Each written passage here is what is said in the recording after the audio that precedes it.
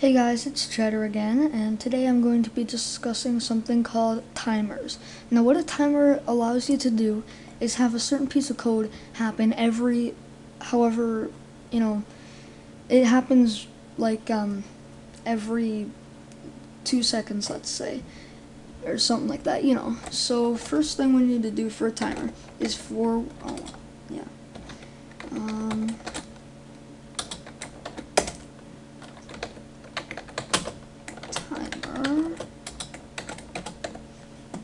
Let's see if I did that right. Okay, so I got that right. Next we'll do set timer. And we'll do timer. I'm gonna do thousand and repeating.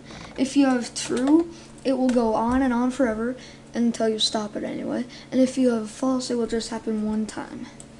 And then finally, down here, we'll have public timer.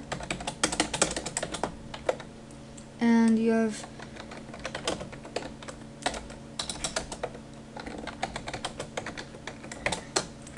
there you go. That's your simple timer. So we'll do, let's do print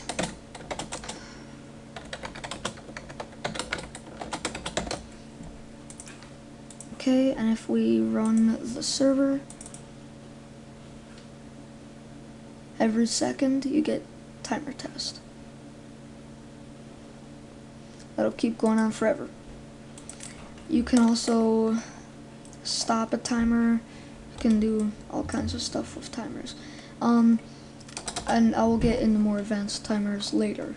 Uh, for now, this is all you get though. Um, because I'm kind of lazy and I have other stuff to do right now. And I just wanted to get one more tutorial done for now.